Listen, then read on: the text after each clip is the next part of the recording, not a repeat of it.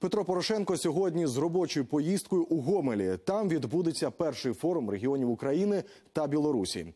Перед початком заходу глава держави зустрінеться із своїм колегою Олександром Лукашенком віч навіч.